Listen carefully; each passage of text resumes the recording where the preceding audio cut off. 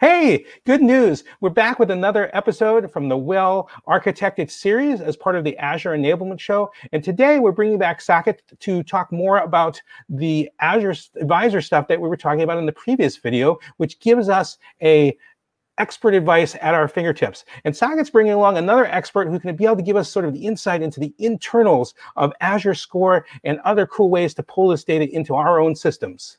Look forward to seeing you soon.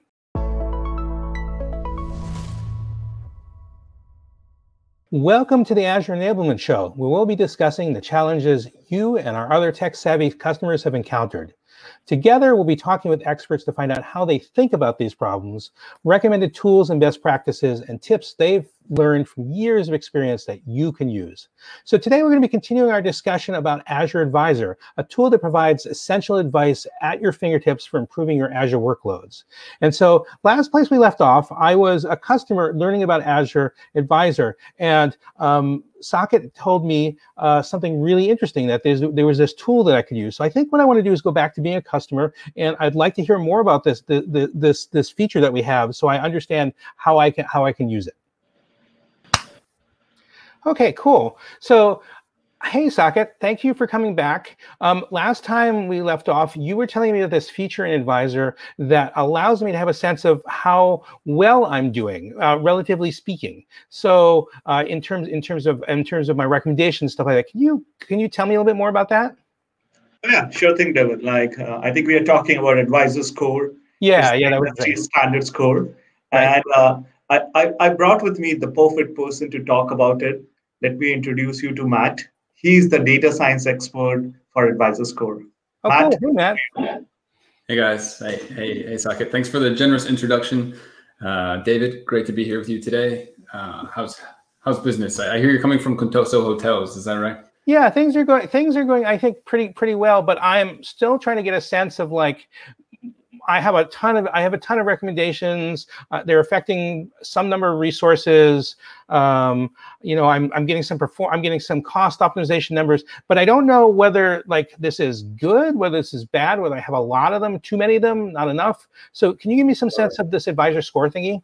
Yeah, yeah, yeah. So uh, advisor score is I think just exactly what you're looking for as as customers start to grow and they, they invest more and they put more on Azure, they find that their recommendations and Advisor will just start to proliferate like crazy. There'll be there'll be more of them than there are bunnies, like cute little bunnies in the forest outside my window here in Redmond. It's it's out of control, and you don't know how to manage it, right? You don't know if it's good, you don't know if it's bad, you don't know if you need to eliminate them or welcome them as your friends. And so the advisor score is going to solve a lot of those problems for you, in addition to those tools that I, I believe Saket shared with you the digests and the mm-hmm. alerts. Mm-hmm. So, so the advisor score, uh, I'd like to tell you just just a, a couple of things um, and and introduce it to you. Okay. So it's we, have developed it kind of to be the industry standard for the cloud computing posture of your organization or really any organization on the planet of any size. It, it's a single number that will tell you how well you're doing on adopting Microsoft's best practices to run workloads in the cloud. So it's it's useful again for for a, a, very large organization who's running thousands of workloads and shared services uh, across an enterprise. It's also useful for these small businesses and anyone in between. So I, think it's going to be useful for you as well. You'll get a number for your in, in, entire Azure ecosystem to tell you how well you're doing adopting best practices. It would also be able to break it down by each of the five pillars of the well architected framework. So you'll see a score for cost optimization, operational excellence, performance efficiency, reliability, and security. Cool. So I want to take you over to the, uh, the, the Azure portal and actually just show you some of these features. And and the first feature I want to show you is this unique ability for the advisor score to actually traverse hierarchies. So if you're a director at Contoso and you're responsible for a, large ecosystem of dozens of applications, and eventually, hopefully, that will grow into even more, then you're want to be responsible for for the the risk that you need to mitigate across all of those recommendations. There could be there could be uh, thousands of them, and then if you want to go really deep into just one specific architecture, when Saket and I were chatting, he said something about how you were you were interested in a, a smart hotels 360 app. It's like some new concierge service. So if that's scoped to a single subscription, then you can just focus in on that one subscription and get a score for just that one workload. Cool. So, anyway, I could see this in action. This sounds really cool. Yeah, let's let's bring it up. So Again, when, once you're into Advisor, I think Saket talked to you, to you about how to navigate to Advisor. You can type it into the search bar. Once you're any, anywhere you are in Azure Portal, go to that search bar at the top of the screen, type in Advisor, and then you can see on the left navigation pane, there's an Advisor score. So just click that and you see the screen you've got here. And then here you can type in your subscriptions. So at the bottom of, of the search results for just Contoso, I can see that you have three subscriptions for the Smart Hotels 360 app. You've got one production subscription and then two non-production subscriptions. So right. if you wanted to scope this just to your your production subscriptions, you know, you could do that and you could get your score. So once you've decided what kind of scope you want, and for now, I'm just going to leave it to all of your Contoso subscriptions, and we can take a look at the entire portfolio. Then you can take a look, and I'll, orient you to the kind of three core features.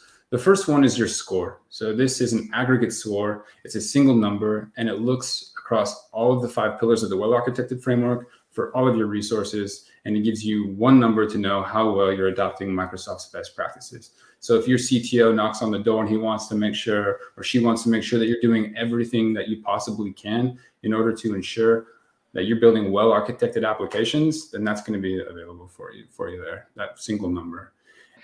Okay, cool. So that's my score, but I like how do I know whether that's good or not? Yeah, that's that's a great question. Honestly, it's going to be up to every single individual organization to figure out what kind of risks they want to take which is why it's important that you can break this score down and look at each individual category. So here at Microsoft, for example, where we build a lot of our internal applications on Azure, we, we like to think about the, the split between production and non-production subscriptions. So you might be willing to take a little bit more risk on non-production subscriptions or non-production resources in the reliability category. So you might let that one fall a little bit. But you also don't want to be paying too much for non-production resources. So you want to keep your cost score very high. And it's good to think about these different category scores as something that you could balance. Split it by workload, split it by production or non-production, and think about what's going to be best for you and your organization. I would also say, in addition to that, another way to know if you have a good score is just to look at the history. So what we've got is a history that will tell you how well you're doing, and you can set benchmarks against yourself and make sure that you're constantly improving or at least staying the same. So that way, as you continue to grow your investment on Azure and build more applications, you'll know that you're you're you're doing the taking the right necessary steps to adopt the best practices that we're recommending and ensure you're getting your your workloads in the position they want to, them to be in. If you decide to go in and just remediate all the recommendations in a very short period of time, you can change the uh, the filters here on this on this. You can look at this at a daily grain, a weekly grain, or a monthly grain to know if your score is moving quickly uh, or, or just look at it over the over the course of an entire quarter. So those those are kind of the baseline introductions to the score, just to give you a sense of what you're doing. And that's the question you came to, to me with originally is, you know, how well am I doing? And finally, you can see that. Cool. So so the next obvious question here is, what do I got to do to improve my score? Yeah, that's a, that's a, a fairly obvious question. And we tried to make it even an obvious answer by putting here at the bottom of the screen. Uh, if you go into the portal, you can see that there is uh, the potential score impact or the, the reliability score impact. So as you traverse across the different categories from left to right, you can see them cost, security, and reliability. You'll see the score impact. So, so here's the reliability score impact, and we've actually ranked each one of these recommendations by the amount that your score will improve if you go remediate the recommendations. It makes it fairly simple and intuitive for you to improve your score. Okay, can I ask another question about something that I'm seeing here on the screen? Yeah, please. Um, I have this vague memory that once upon a time, instead of this score, there were a bunch of counts where we're just sort of counting up the number of recommendations in each one of the categories. Why is the score uh, any better than the count? What's different between just a straight up count? Yeah, that's a good question.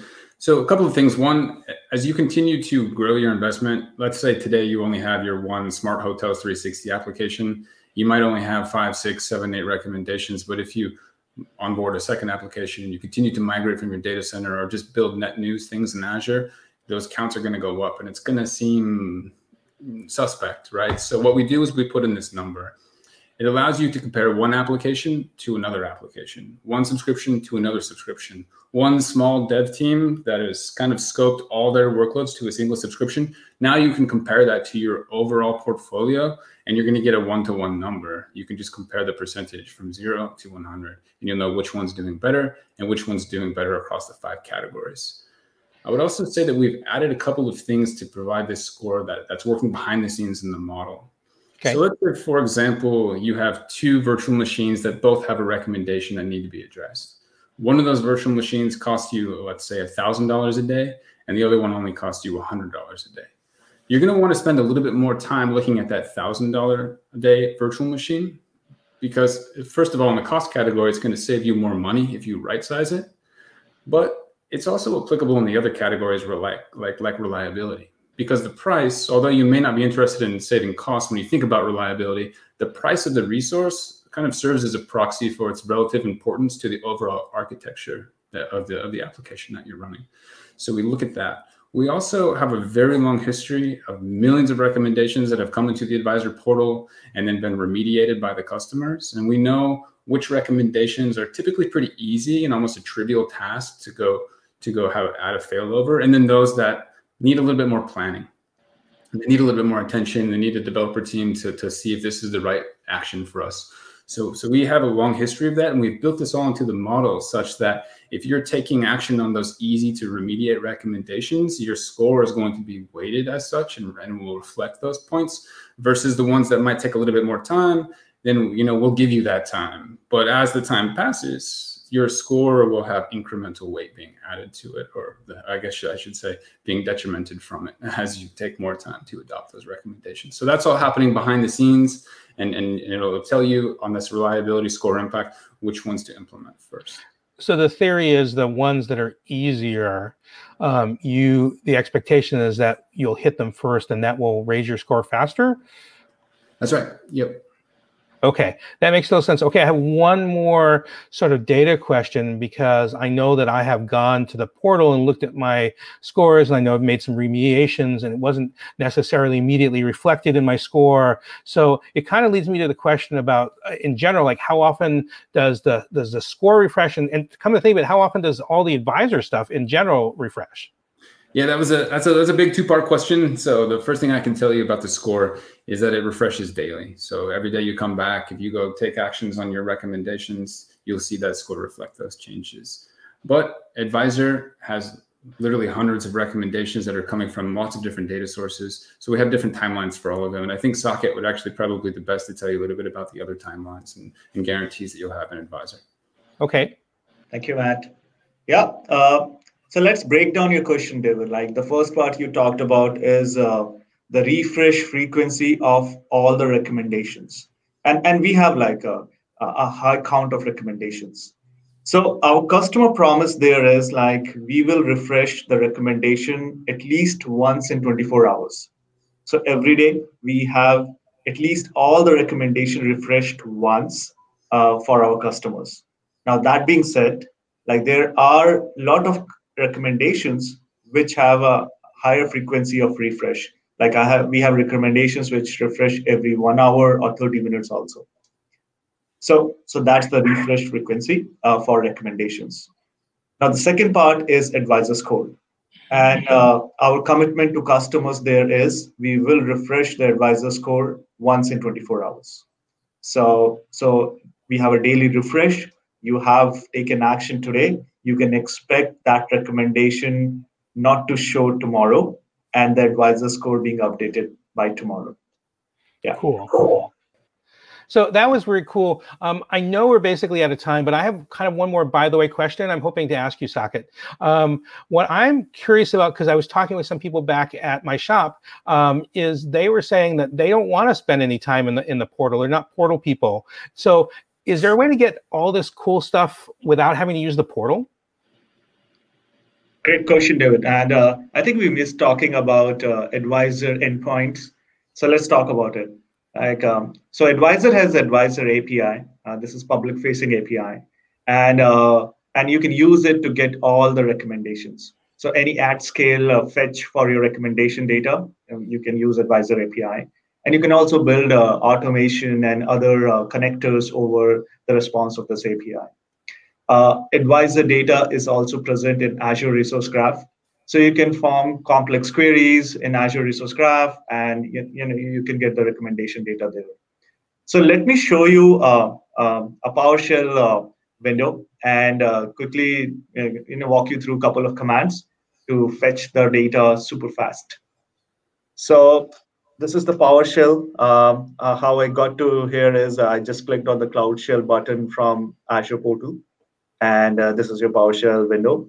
And uh, so this is the first command I'm going to type, and uh, you can easily see what I'm doing is I'm selecting a subscription, which is your subscription, David Contoso Hotels. So, and I'm going to execute this command. So now the context is with this subscription. And then next thing I'm going to do is just fetch the advisor recommendation for the subscription. And you can easily see like, hey, you have all the recommendation uh, coming for that subscription. This is super easy, two line command. And similarly, our API also are super easy. It's just one HTTPS call with the right parameters, and you will have all the recommendation uh, with you. So that's really cool because that means I can suck that stuff into my existing systems and display them anywhere I want, which is which is really quite cool. Well, I, I said we're, we're almost out of time and we're definitely out of time. I want to thank both you, Saket, and you, Matt, for for taking the time to talk to me about this. And I think it's probably time for me to move back into host mode. Well, that was pretty cool. We got a chance to see more about Azure Advisor. We get to dive into Azure Score, and we got a, some sense of how to how to uh, pull it in that information into our own stuff. So, with that, I want to thank you for watching this. I want to thank Saket and Matt for taking the time to talk to me, and I hope you'll join us for other videos in this series. Take care, and I'll speak to you a little bit later on.